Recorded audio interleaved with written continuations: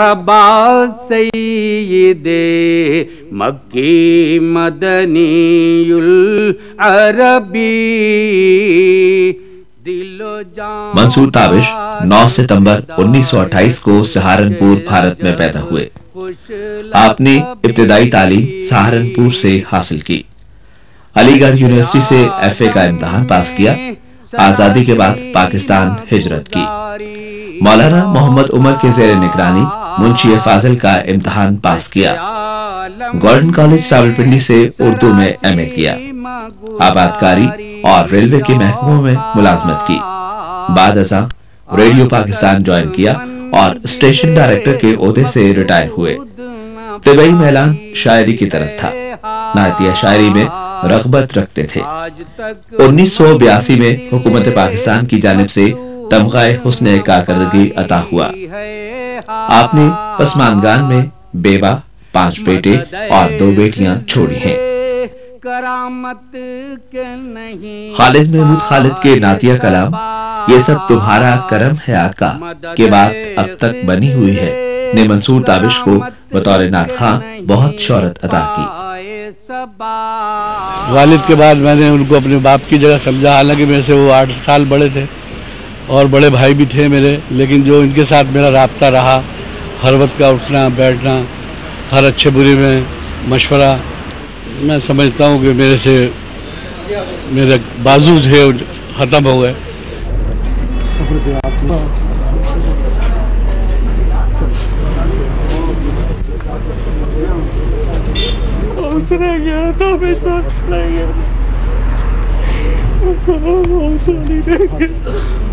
کل اسی جگہ پہ سید المرسلین رحمۃ اللہ عالمین صلی اللہ علیہ وسلم کی بارگاہ عالی میں گلہائے رنگا رنگ نعت کی شکل میں پیش کرنے کے لیے ایک بہت بڑی محفل کا انعقاد ہونا تھا۔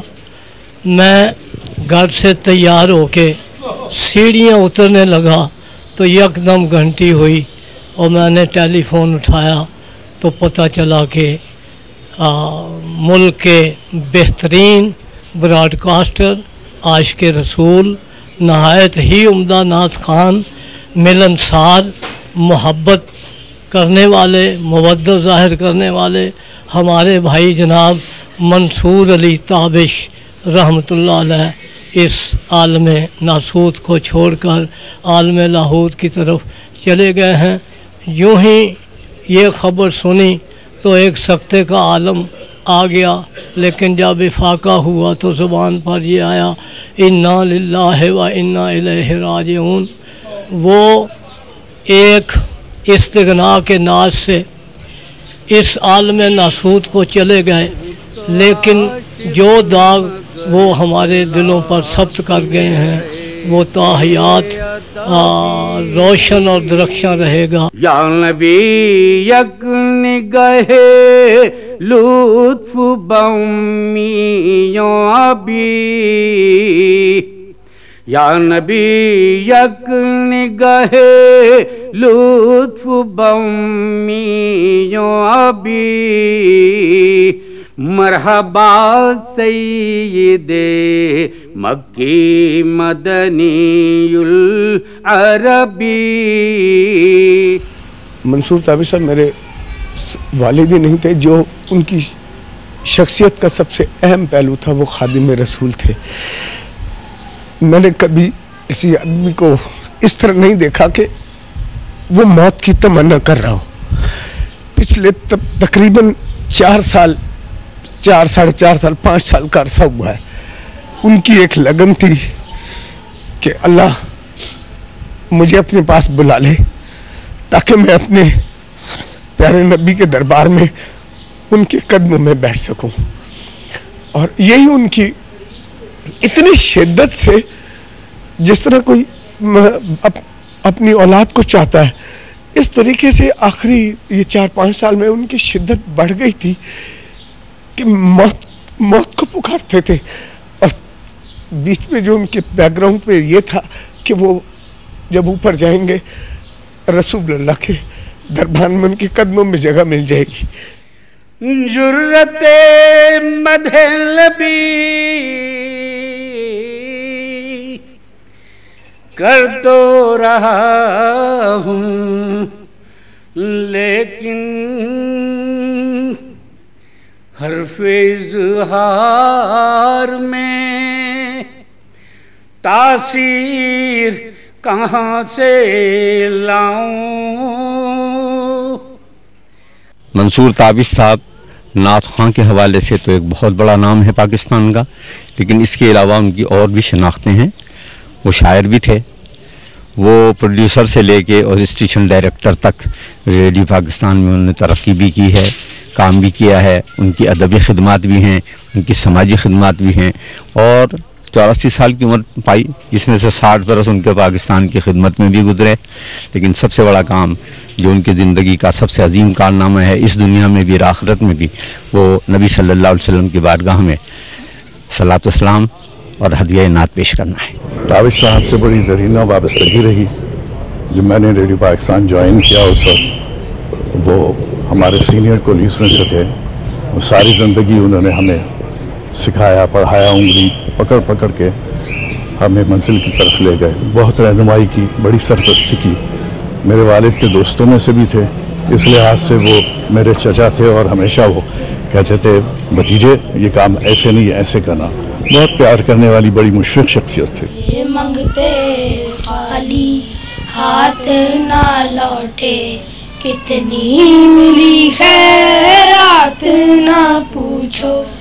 ان کا کرم پھر ان کا کرم ہے۔ ان کا کرم پھر ان کا کرم ہے۔ ان کے کرم کی بات نہ پوچھو۔ میرے دادا ابو میرے سے بہت پیار کرتے تھے، وہ بہت اچھے تھے۔ وہ بہت اچھے تھے۔ ان کے جانے کے بغیر بہت گھر سنا سنا لگتا ہے دادا ابو میں ہمیشہ کہتے تھے کبھی جھوٹ نہ بولو مل کے رہو مل کے رہنے میں ہی برکت ہے. دادا ابو مجھے کیوں چھوڑ کے گئے بابا؟ میری زندگی خوشی تھی بہت عظیم تھے۔ ہماری پوری فیملی کے بزرگ تھے اور یہ آج ہم لوگ ساری ہماری فیملی یا سارے لوگ ہم جس مقام پہ یہ بزرگوں کی دعائیں تھیں، ان کی دعائیں تھیں ہمارے ساتھ۔ تو جس کی وجہ سے ہم لوگ اس مقام پہ ہیں آج، تو میں یہ سمجھتا ہوں کہ ہمارے جن سے فیملی کے ایک بڑے تھے، وہ اب نہیں رہے ہمارے ساتھ۔ کمال ہی کشف دو جاگ جمال ہی حسنت جمیع خسال ہی صلو علیہ وآلہ یہ سب تمہارا کرم ہے آقا، کہ بات اب تک بنی ہوئی ہے۔ میرے سرکار کا تابی شاہ پر اتنا کرم تھا کہ یہ خالد محمود خالد کی نعت پاک آقا حضور کے قدموں میں کھڑے ہو کے پڑھنے کی تابی صاحب کو سعادت حاصل ہوئی، جو ہمارے قبیلے میں بہت کم لوگوں کو یہ سعادت نصیب ہے۔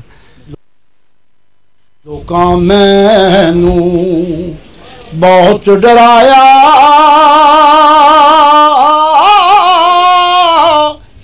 رات قبل دی کالی میں سنیا اتھے اس نے آنا جیدے مہنڈے کملی کالی انیس سو پچپن میں آئے تھے میرے پاس اور مغرب کے جب میں چھٹی دیتا تھا تو نماز پڑھنے میں چلا جاتا تھا یہ پیچھے اپنے ناچ شروع کر دیتے تھے۔ تو وہ ادھر سے جو آ رہے ہوتے تھے، وہ سب کھڑے ہو جاتے تھے، ادھر سے آ رہے، وہ بھی کھڑے ہو جاتے تھے۔ اور جو درسگاہ میں تھے، وہ تو تھے ہی۔ پھر جب نماز کر میں واپس آتا تھا، تو ایک تعلیم دیکھتا تھا کہ میں آ رہا ہوں۔ وہ آ کر بتا دیتا تھا کہ آ رہے ہیں۔ تو بس یہ خاموش ہو جاتے تھے۔ پھر لوگ ادھر جا رہے ہیں، ادھر جا رہے ہیں۔ معلوم ہوتا تھا جیسے سنیما شو ختم ہوا ہو۔ ایک عجیب رونق لگائے ہوئے ہوتے شاگرد ہزاروں ہے لیکن چند ایک ایسے ہیں جو جنہوں نے دل میں مستقل گھر بنا لیا ہے۔ ان میں سے ایک یہ بھی ہیں۔ زمین و زمان تمہارے لیے مکین مکان تمہارے لیے چنین و چنا تمہارے لیے بنے دو جہاں تمہارے لیے تابش صاحب کو اللہ جنت الفردوس میں جگہ عطا فرمائے، آج وہ ہم میں موجود نہیں ہیں۔ لیکن ان کی شخصیت پاکستان کے لیے اور ان کی خدمات جو ہیں وہ بلائی نہیں جا سکتی۔ وہ صحیح محب وطن تھے اور ان کی کمی جو ہے وہ تمام مکتبہ فکر میں بڑی شدت کے ساتھ محسوس کی جائے گی۔ اللہ تعالیٰ نے ان پہ جو خاص شفقت کی کہ وہ جو ذکر رسول کی انہوں نے ایک نیا ٹرینڈ دیا اور ان کی جو پہلی نعت تھی کہ یہ سب تمہارا کرم ہے، آقا کے بعد اب تک بنی ہوئی ہے، اس کے بعد نعت خانی میں اللہ نے انہیں جو عزت دی، وہ ایک نہایت شفیق انسان، ایک بہترین دوست، ایک بہترین ساتھی، ہمدرد، غمگسار اور لوگوں کا غم جو ہے وہ شیئر کرنے والے تھے۔ فرمان رسول ہے منظار قبری وجبت لہو شفاعتی جس نے میری قبر کی زیارت کی، اس پر میری شفاعت واجب ہو گئی۔ اور پھر ان کے عشق رسول ہونے کی یہ دلیل ہے کہ وہ جب بھی نعت مصطفیٰ صلی اللہ علیہ وسلم پڑھتے تھے یا قرآن کی تلاوت سنتے تھے، تو ان کی آنکھوں سے آنسو جاری ہو جاتے تھے۔ جسے چاہا در پہ بلا لیا، جسے چاہا اپنا بنا لیا۔ جسے چاہا اپنا بنا لیا۔ یہ تیرے کرم کے ہیں فیصلے۔ یہ میرے نصیب کی بات۔ یہ تیرے یہ تیرے کرم کے ہیں فیصلے۔ یہ میرے نصیب کی بات ہے۔ جسے چاہے اس کو نواز دے۔ اللہ اکبر۔ السلام علیکم ورحمۃ اللہ۔ نہ کہیں سے دور ہے منزلیں